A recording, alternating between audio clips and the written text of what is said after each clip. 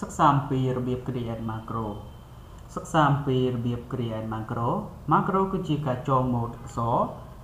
ចងចងការប្រើប្រាស់ផ្សេងៗជាមួយនឹង shortcut key ណាមួយឲ្យបានរហ័សបញ្ចូលពាក្យ macro ធ្វើឡើង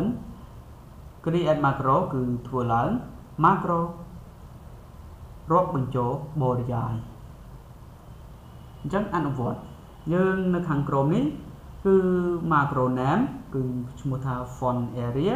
ហើយ shortcut key គឺ control m ហើយ font name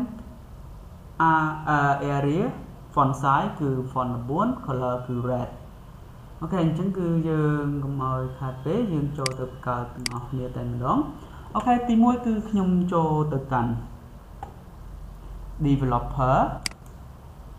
ហើយយកពាក្យថា record macro ហើយបន្តមកទៀត macronym អញ្ចឹង macronym សូមដាក់ឈ្មោះ macronym មកគេឲ្យយើងដាក់ឈ្មោះថា font underscore air area បែបហ្នឹងហើយ shortcut key កន្លែងនេះគឺយើងដាក់ shortcut key អសអមសអមណា shortcut key សសអម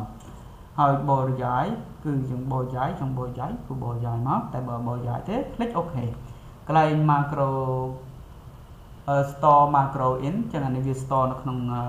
book នឹងតែម្ដង workbook ទាំងមូលនឹងតែម្ដងចឹងយើងមិនចាំបាច់សេរីទេចឹងមាន new workbook personal macro workbook ចឹងយើងដាក់ក្នុង workbook មកហើយ click អូអូខេវាថាគេ already អញ្ចឹងអានេះ shortcut នេះដោយសារខ្ញុំបង្កើតមុនហើយហើយអញ្ចឹងវាមានមួយហើយអញ្ចឹងខ្ញុំដាក់អឺ intro o ហើយ click OK បាទអញ្ចឹងគឺយើងបាន macro បែបហ្នឹងហើយតមកទៀតគឺយើងចូលទៅកន្លែង home ហើយយើងដូរឈ្មោះ font វាដាក់ថា area បន្ទាប់មក font size វាគេឲ្យយើងយក14ហើយពណ៌គឺ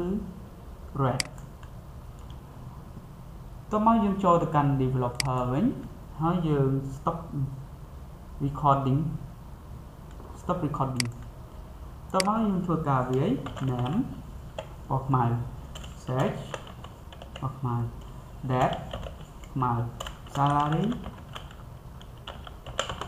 salary បោះខ្មៅដែរអញ្ចឹងខ្ញុំចង់ឲ្យវាទៅពណ៌ដែលយើងបានដូរមិញហ្នឹងចឹងយើងគ្រាន់តែចុច shortcut key control O ចឹងយើងនឹងទូបានពណ៌តែម្ដងចុច control បូកជាមួយនឹង